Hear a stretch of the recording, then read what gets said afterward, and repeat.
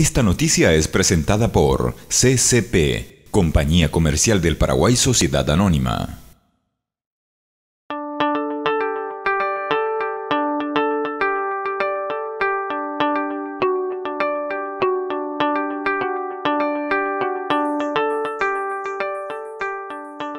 Eso siempre, siempre va a pasar. Yo, en un momento nosotros habíamos hablado, creo que eso, porque eh, nunca, ellos, ellos nunca, o sea que la bancada del otro partido nunca me aprobaron eso. Siempre rechazaron, por más que sea, eh, ellos miran bien que, si, si, por más que sea está bien, ellos dicen que está mal.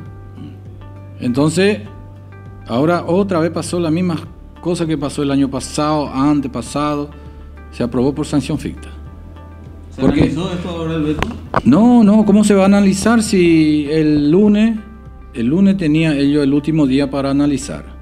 Y resulta que no, analizaron porque tenía muchas eh, cosas que tratar, entonces pidieron un extraordinario.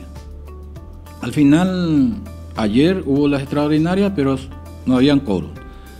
Y así, así ellos trabajan. Eso, eso son una politiquería que, que, quiere ensuciarme a mí. Eso es, lo que, eso es lo que ellos están buscando. Porque, vuelvo a repetir, hace 2017, 2016, 2017, 2018, ellos no me aprobaron. Siempre se aprobó por sanción ficta.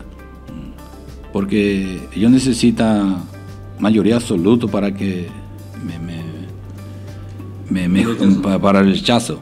Entonces yo sabía, por eso yo siempre digo, eh, no, hay, no hay forma de, trabajar con ellos porque ellos tienen otra visión.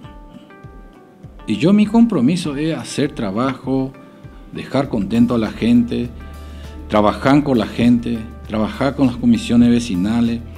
Y eso es lo que ellos no hacen, porque no, no les costaba nada a ellos de venir a hablar conmigo y decir, ¿Cómo está la documentación? ¿Cómo estás haciendo con los demás concejales? Yo tengo cuatro concejales que siempre nosotros nos reunimos. Y yo a veces les llamo a ellos que vengan los nueve, que traigan su proyecto, que diga, ¿qué te parece, intendente, si hacemos esto? Yo, amigo mío, voy a hacer lo que ellos dicen. Pero no así politiquería para ensuciarme a mí, para dejarme mal a mí. A mí no me va a dejar mal. Pues la ciudadanía ves que la obra San Come se está creciendo agigantadamente.